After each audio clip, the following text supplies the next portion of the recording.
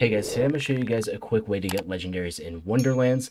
Now I'm going to show you guys this item that increases your loot luck by a ton. So what you guys want to do is you guys want to go over to this like charm place over here and get the evil-eyed Bad Luck of the Holy Warrior. Now, there's two things about this. One, it increases your loot luck by a ton. It increases it by 30%, but there is a massive downside with this. Now, the bad luck part of this is that it applies a random effect to you every 8 seconds. So as you guys can see right now, I'm just going to stand still. I'm not going to do anything. My hands are up right now. And you guys can see at the bottom left in about a couple seconds that it's going to probably damage me. Okay, so it took a little bit longer than 8 seconds, but it did apply that random damage effect, and that is the bad luck of it. So if you guys did enjoy, make sure to leave a like, comment, and subscribe. This is a very, very good charm to get.